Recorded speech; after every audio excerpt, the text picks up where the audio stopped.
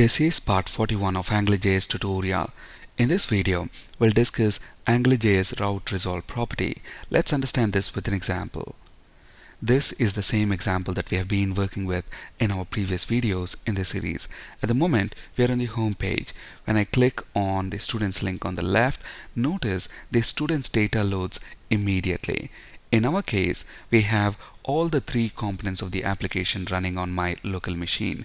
That is, the database server, the application, and the client all are on my local machine. So there is no network latency. That's the reason why the data loads immediately in case if these three components are present on different machines and if there is some network latency the student's data may take a few seconds to load. Let's introduce some artificial network latency by including thread.sleep statement in the web service method. So let's flip to Visual Studio.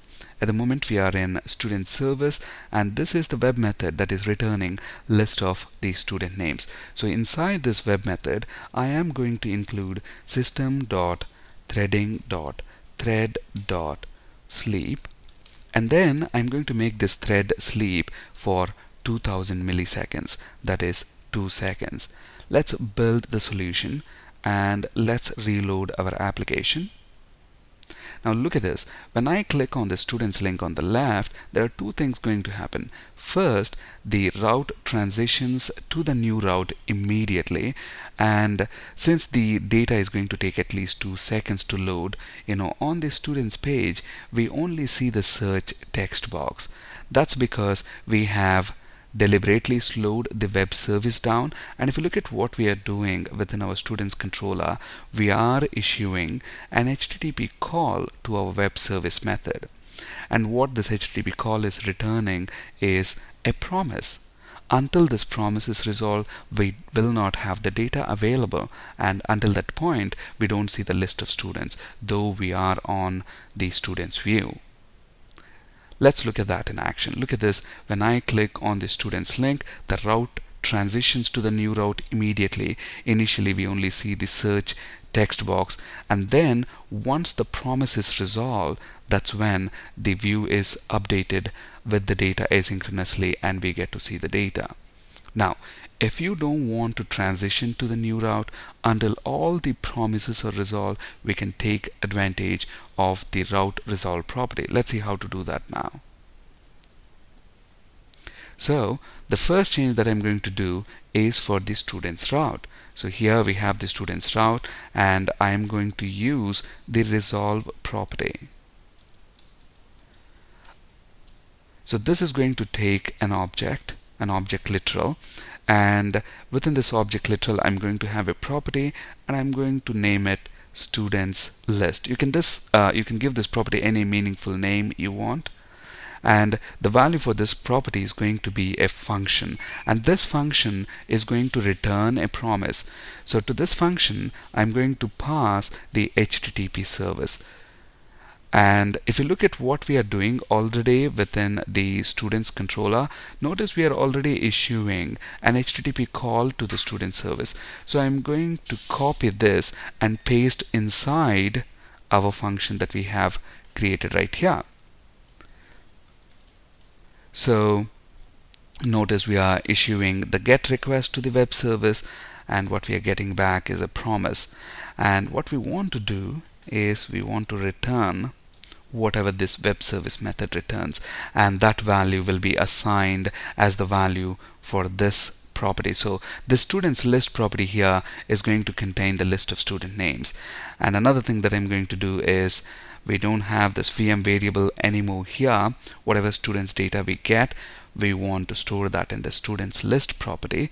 So I'm going to include another return statement here.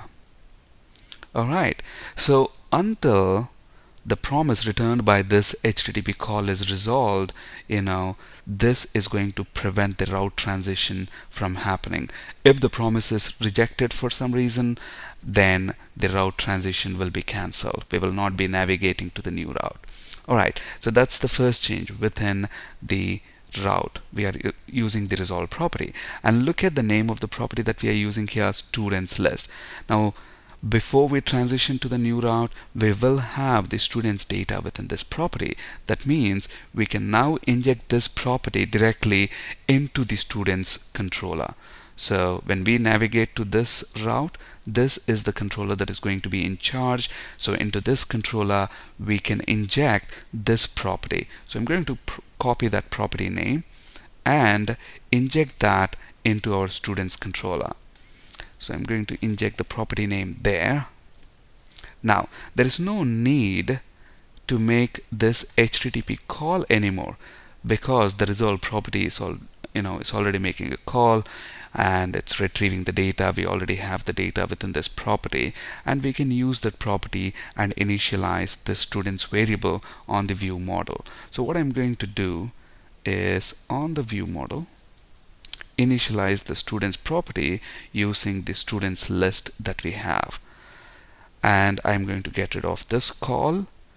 Since we don't have to issue an HTTP call once again from the controller we can remove the injection of the HTTP service from there. Alright so with all these changes let's build our solution. And I'm going to reload the app so at the moment we are on the home page. And look at this. When I click on the students link here the route you know we don't get to see the students page. We will say stay on this home page. Only when the promise is resolved that's when the route transition happens. And at that point we see the students data immediately. Look at that. When I click on the students link we are still on the home page and then as soon as the route transitions you know as soon as the promise is resolved the route transitions to the new route and then the data loads immediately.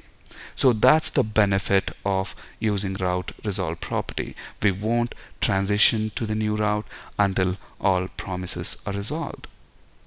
So here is the change for the route itself. We're using the resolve property here and this is a change to the respective controller function in this case the students controller function so in summary, the resolve property contains one or more promises that must resolve successfully before transitioning to the new route.